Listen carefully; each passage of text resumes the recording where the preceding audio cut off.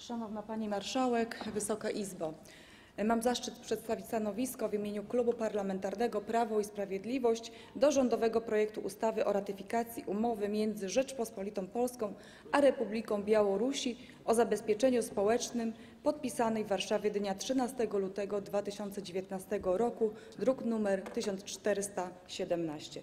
Projekt dotyczy stworzenia lepszych warunków rozwoju dla polsko-białoruskiej współpracy gospodarczej oraz spełnienia społecznych oczekiwań w zakresie utworzenia takiej umowy celem rozwiązania istotnych problemów obywateli Rzeczpospolitej Polskiej i Republiki Białorusi. Krajowe systemy zabezpieczenia społecznego poszczególnych państw nie zawsze są w stanie zapewnić pełną ochronę ubezpieczeniową, szczególnie w odniesieniu do osób zmieniających w czasie swojej aktywności zawodowej miejsce zatrudnienia i zamieszkania.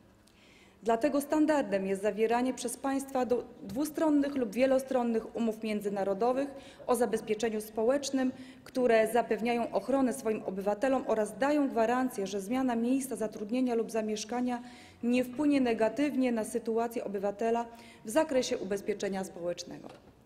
Jednakże gwarancji tych nadal pozbawionych jest wielu obywateli polskich zamieszkałych lub podejmujących zatrudnienie poza granicami naszego państwa, w tym zamieszkałych lub zatrudnionych na terytorium Republiki Białorusi lub którzy przesiedlili się z Republiki Białorusi do Rzeczypospolitej.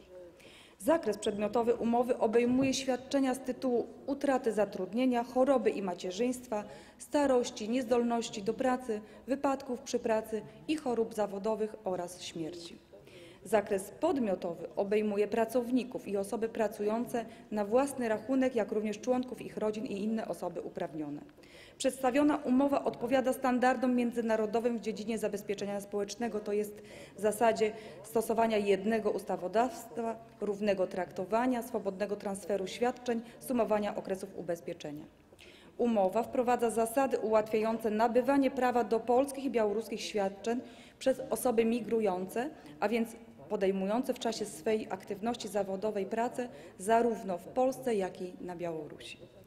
Zasady te mają na celu ochronę pracownika migrującego przed utratą prawa do świadczenia z tego tylko powodu, że aktywność zawodowa nie została ograniczona do jednego państwa. Pani Marszałek, Wysoka Izbo! Klub Prawa i Sprawiedliwości popiera powyższy projekt ustawy i będzie głosował za jego przyjęciem. Dziękuję bardzo. Dziękuję bardzo pani poseł.